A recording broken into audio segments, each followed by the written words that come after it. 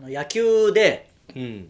メジャーリーグでね、うん。今シーズンからかなその敬遠ってあるじゃないですか。このバッターにこのピンチは、あのまともに勝負したくないからってフォアボール出しわざとフォアボールして歩かせるっていう方法がね、うん。野球の戦術としてありますけど、うん。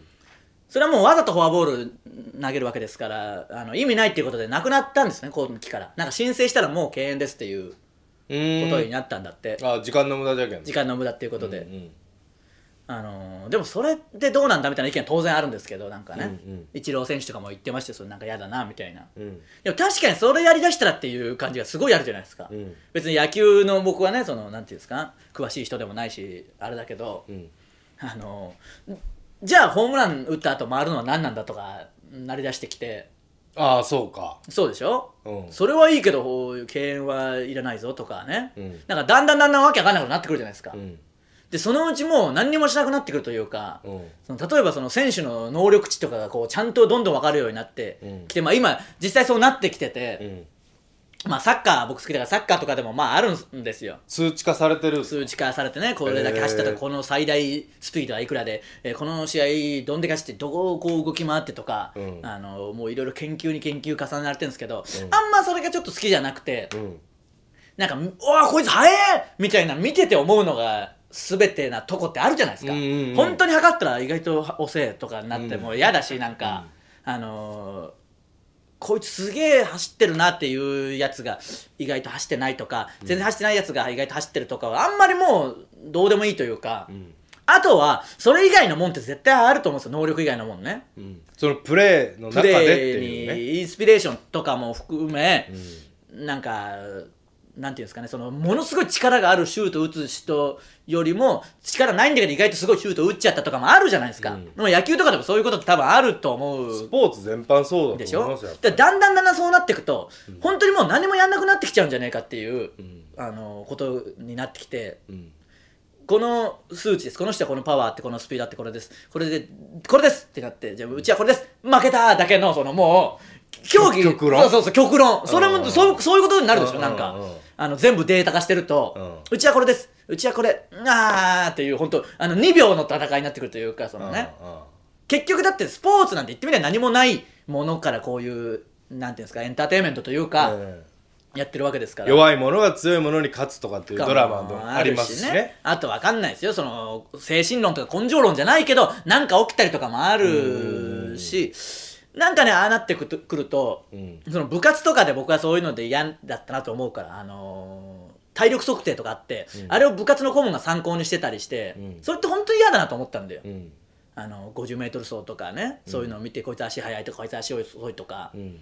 まあまあそれも当然大事ではあるけど、うん。それだけじゃない部分ってあるだろうっていううん。気持ちするじゃないですか、うん。あんまりだから僕サッカー好きでもあのなんかすそういう数値がそんな好きじゃないというか、うん。本当にこのままいったら全部解明されてこうやったらこうなるこうなるってなって何もしなくなっちゃうじゃないですか。うん。だからねなんかホームランこの人はパワーがある。こっちはパワーがない。どうぞパワーがある方が勝ちとかになってきたら本当にただ鍛えてるだけの毎日になってね、うん。結局そこで起きる何かとか人間性が面白いわけですから、うん。まあわかんない。フォアボールの件がどうかわかんないけどなんかねそういう風にしてほしくないとこありますよね。うん当然便利になるとこあるけどね。あのビデオ判定とかが良かったりとかね。まあ悪かったりとかいろいろあるけど、公平なね判断がだんだん技術の進化でね。でそれでなんかね意外とその誤審がドラマを生んだとかもあるしね、うんうんうんうん。こればっかりは難しいけど、うん。やっぱなんか部活の時を思い出したそうなんか、うん。あのそれでずっと僕はずっと補欠でしたからなんかそこで決めんなよってやっぱ思った。皆さんがそうではないとは思うけど、うんなんかそうもっと科学が進歩したらもっと解明されるわけじゃないですか。できることを、うん。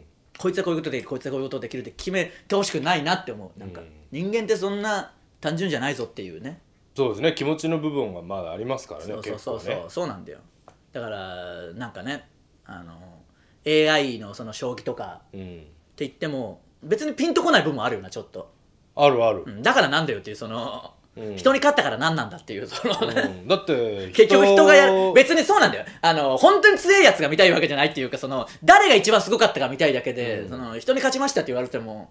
だって AI だって結局人がやってきたもののデータの蓄積で生まれたもんじゃないですかあれ。まあね。しかもその別にだから 100m 走よりバイクが勝ちましたと同じようなもんで別に、あのいいよいいよそれは機械だからそうでしょうとしか思そうそう。わないんだよそうなんかほんまに何も思わんよなあれ、何も思わないですね、うん。まあそれだけ技術技術が進歩してるっていうことなんでしょうけどね、うん。だからちょっとそういうのをこうスポーツとかにどんだけ持ち込むかっていうのはね、だからお笑いだってそうですよ。このままもっといろんなデータ化されてね。何にもやんなくなってきちゃうかもしれないですからね。なんか。お笑いは負けませんからね機械にはなんかまあ一番言うのに似つかわしくないやつがいるって。お前が言う。すぐ負けそう。だってお前だって iPhone を脳に埋め込もうとしてるから。まあちょっとね別にその深い考えてないからあのコメント欄で議論しなくていいですからね。別に。あの正直 m 1のことで口がなかったんで適当に言ってるだけなんですよ。あー議論これはしなくていいです別に、はいそうですね。面白ですか？面白い。どうでもいい。本当にすいません今日4つしか思いつかなかったんでどうでもいいことを言っただけなんでね、あのいや野球はこうこうこういう歴史でとかのやつはやめてくださいね。そうですね。どうでもいいです、平日毎日愚痴を更新しています。ぜひチャンネル登録してみてください。ウエストランド井口の。打ち上げ